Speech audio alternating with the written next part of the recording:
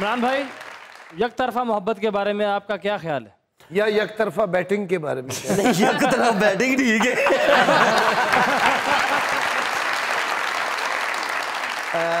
देखिए एक मोहब्बत और मैं वही जो है उसी से शादी की है।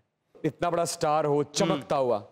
आपसे तो यक तरफा मोहब्बत का इजहार लोगों ने किया वो तो टू मच है वो तो आप मैं इस चीज़ का तो मैं कह सकता हूँ। कैसे हैंडल करते हैं? देखिए एक ही तरीका है कि क्रिकेट खेडन दे तू कड़े आरे ला रही है।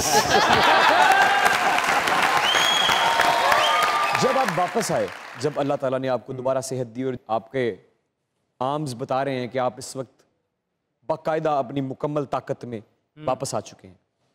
टीम में आने की कोशिश की? बिल्कुल। एक चीज़ का तो दुख है इमरान भाई। देखिए मैंने इस मुल्क के लिए अराउंड कोई फोर्टी फिफ्टीन ईयर्स क्रिकेट खेली है।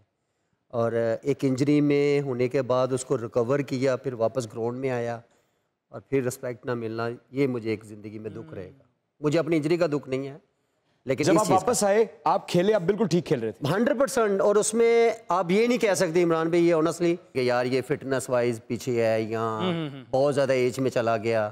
किसी ने साथ नहीं दिया? नहीं वो उस टाइम पे इवन के अगर फिर छः पीएसएल की टीमों को देखें आप और बाकी चीज़ों को भी देख लें तो मेरा ख्याल है एक को तो रिस्पेक्ट देनी चाहिए थी कि नहीं यार आप आए हम आपको बैकअप करते हैं। आप दोबारा करें तो सही कोशिश।